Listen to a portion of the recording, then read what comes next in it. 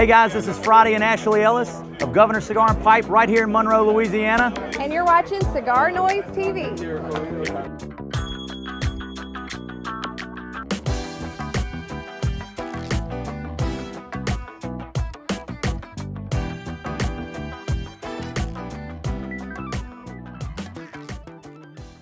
Big thanks to the Governor and First Lady for kicking off this week's episode. I'm Dave, your host, and this week we're broadcasting from the Make Business Cafe in the Olympia Mall deep in the heart of Salmiya, Kuwait. And this week we're taking the classiest tour available from Governor Cigar and Pipe in Monroe, Louisiana, getting lesson in cigar selfies from Dom, and checking in with Rich for a little knowledge drop. So pour yourself a glass of that Bayou Living, fire up the Governor or First Lady you've been waiting for all day. It's time to make some noise.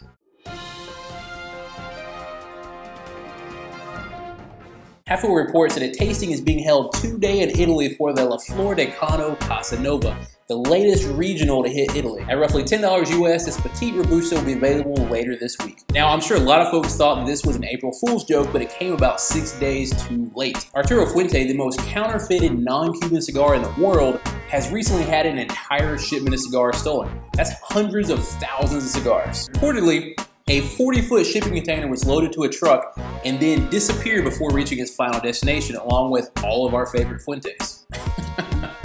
what? What I want to know is what was this driver's face like when he showed up across town missing a 40 foot container? I'm willing to bet he needed his Father's Day opus a bit early this year after explaining that one. And the Fuentes remain hopeful that they'll find their product because somebody will slip up and try to make a purchase or a sale. But this is a case where the evidence could literally go up in smoke. Next up, Friday Ellis, my personal tobacconist and hero, takes us on a tour of Governor's Cigar Pipe.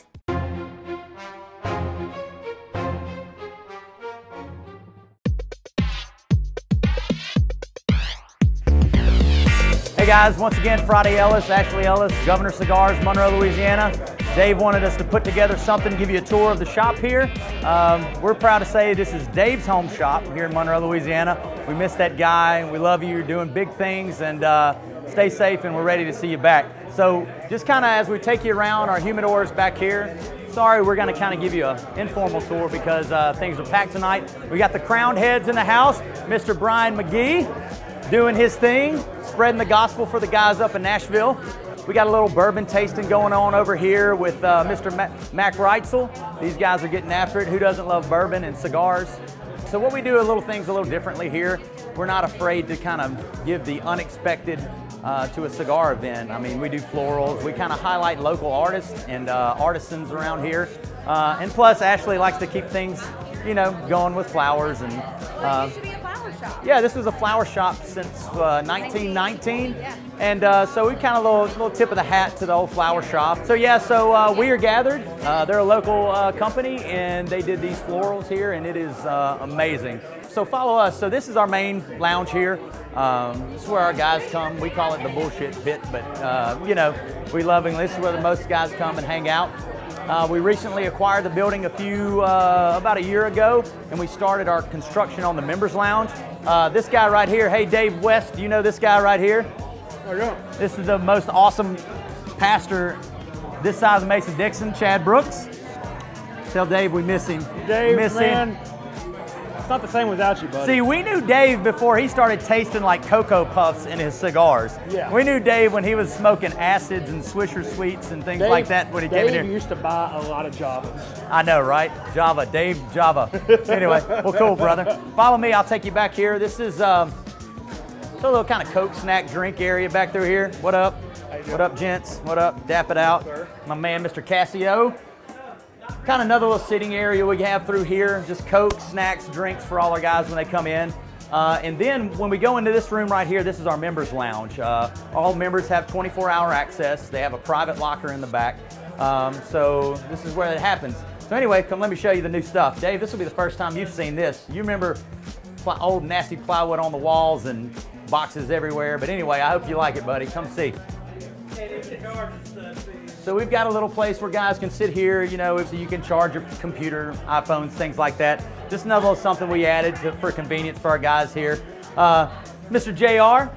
Yes, sir. Dave West, Cigar Noise. Dave, what's going buddy? What's up, man? So, uh, some more guys here. This is uh, 50 year Zumba instructor, Bob Allen. You remember him, Dave West? Yes, yes, that's right. Anyway, so yeah, so this is another little seating area you got back here, and I'll make our way back to the bar. So eventually, these doors are going to lead out to a private patio, and uh, we'll have an outdoor kitchen, private fireplace, stuff like that. But uh, come on back here. Here's some of my uh, Richland Parish brothers. What's up, brother? Say, Say hello to Dave West with Cigar Noise TV. How are you, sir? What's up, man? So anyway, we got a full service bar, ice maker, refrigerator, dishwasher, anything like that. Full service stemware for anything, whatever you might be drinking. And back here, I'll show you the uh, locker area for our guys. Here's another little seating area back here full of ladies.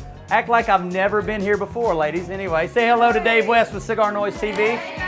Ah, look at there. So this is our members locker area. So this used to be the old flower store, just old cooler, and uh, man, it just makes such a gnarly noise, and I felt like it was gonna be a great thing for guys. So you'll come in here, though, 24 hour access, get their locks and going, and they'll come in. And uh, we just had these cabinets custom made from a local cabinet maker. They're gonna get their name badges put on it.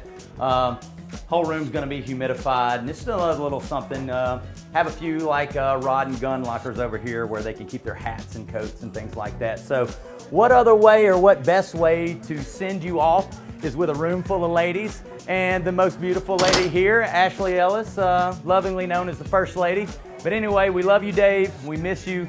Uh, man, I'm so proud of you and what you created with Cigar Noise. Anyway, safe travels back home. Later, Noise. Bye, Dave.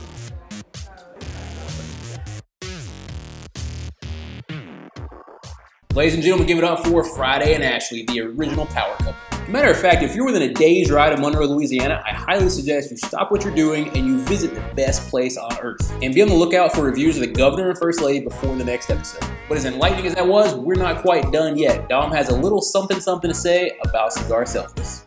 So, I've noticed a lot of you on Instagram like taking selfies with your cigar. Uh, frankly, you're all doing a really terrible job at it. So, I'm here to give you a little step by step guide on how to take a proper cigar selfie. Step one go to your humidor and find the largest ring gauge cigar you can, like this, for instance. Now, I know a lot of you are gonna be saying, Oh, that's gay, I don't do that. It's not gay. Do you go to Subway? Do you get the 6 inch sub? No, you're a man, you get the 12 inch sub. That's what you do. Bigger is always better. Oh, that's uncomfortable. Oh my goodness. Step two know your audience. Am I sending this to my bros to say, What's up, bros? I'm smoking a cigar right now. Or am I sending it to some foxy chica to say, check me out? I'm a man who smokes cigars. Step three, the less clothes, the better. It goes without saying. I mean, you want people to see you for who you are. Clothes get in the way of that sometimes. Step four, it's all about the angles. If you haven't looked in the mirror in a while, do that and figure out which is your good side. Everyone has one, believe me. You never want to go for just a straight on shot. That's a stupid, amateur. You can go for a little up above action or a little crotch shot action to show that you're dominant, you're above them.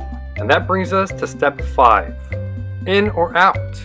Some people prefer in, some people prefer out. It's up to you. Depends if you're feeling a little saucy or sauced. Well, I hope you learned something from these five steps on how to take a cigar selfie. Step six, screw your selfie. I don't even know where to begin. Like, no one wants to see you smoking a cigar. Enjoy it, dude. People might be like, oh, you're sexist. It's okay when girls do it. No, it's not okay when girls do it. I hate it too. But the difference is, if they're hot, well, I like hot girls, so like it. If it's wrong to like babes, sue me. And if you have a problem with me taking videos of myself for my cigar reviews, well, I can do it, you can't.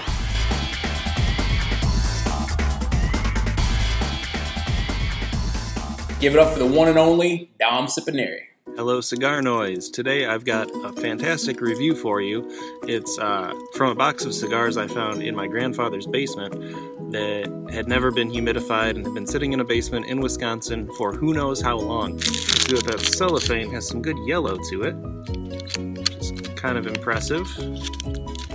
The cigar itself seems to be okay in terms of humidification, and that doesn't really make any sense. Let's find out if this thing's any good from its not humidified status in a Wisconsin basement. It doesn't seem terrible. There's nothing obviously wrong with this cigar, which is good. It tastes like mostly cheap tobacco, a little bit of grass, a little bit of hay. Nothing that interesting in there. It's a little sweet. It's got some good sweetness to it, especially on the finish there. This doesn't taste like a whole heck of a lot. Construction seems okay on it. I don't know what it tasted like to begin with, but doesn't seem to have hurt it to sit in a in a basement with no humidification for uh, probably at least a decade. So if you don't have a humidor, I guess stick your stuff in a basement. See how it goes. Rich, ladies and gentlemen, and remind me to start toning it down a little bit next week because if we give away too much information, folks may start to get the wrong impression. And this week we've set up a veritable buffet for your weekly deal. Feast on the Davidoff Chef's Edition, HGC's Black Friday, the Blackworks NBK, RoMa Crafts Intemperance EC, and finish it off with a little Laranja dessert, all for $53 shipped. And as we close our social media cigar noise hashtags of the week, I'd like to say thank you very much to all of our special guests, everyone that makes this show happen each week, and Tom Thorough for sharing his musical talent with us.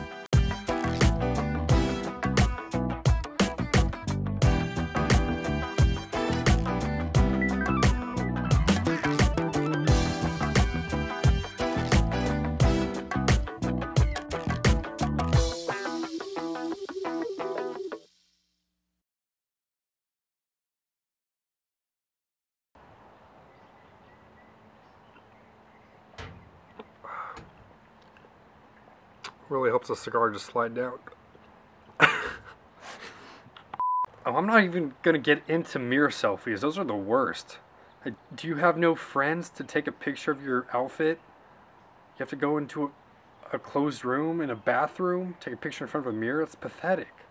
If I'm following you, and I see maybe you just watched the first part of this video and took a cigar selfie, I'm probably not gonna unfollow you. We're just not gonna be friends. Alright, I'm going to take a few right now and just show you how a real professional does it.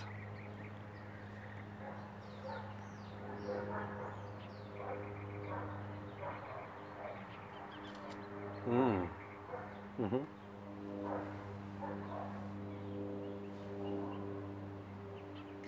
Oh, that's a good one. That was a great shot right there.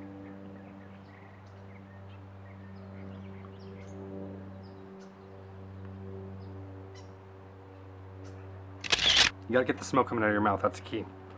Major key. And if some of you think, oh, well, you take cigar video selfies for your reviews, that's pretty dumb. It's different, okay? I'm a film major, I can do that.